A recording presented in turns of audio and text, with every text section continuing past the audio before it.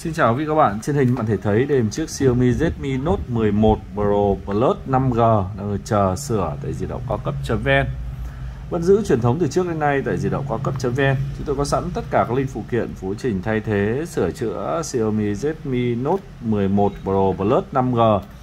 các lỗi sự cố cơ bản liên quan đến phần cứng như hỏng main, hỏng loa, mic rung, chuông, chân sạc, màn hình, main,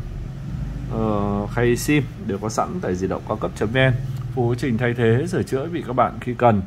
Những khách hàng ở xa không điều kiện đến với di động cao cấp.vn cần một địa chỉ sửa Xiaomi Redmi Note 11 Pro Plus 5G quý vị các bạn đừng ngần ngại liên hệ kỹ thuật viên tại di động cao cấp.vn chúng tôi có sẵn linh kiện thay thế sửa chữa nhanh chính xác cho vị các bạn khi cần. Những khách hàng ở xa không được kiện đến với di động cao cấp.vn quý vị các bạn có thể sử dụng dịch vụ ship code COD chúng tôi ship đến tận địa chỉ vị các bạn yêu cầu quý vị các bạn nhận được, quý vị các bạn mới về thanh toán tiền bưu điện, nhanh chóng, an toàn và tiện lợi. Xin ơn quý vị các bạn đã xem video tại di động cao cấp.vn địa chỉ cung cấp link phụ kiện để chỉ nhận sửa Xiaomi Redmi Note 11 Pro Plus 5G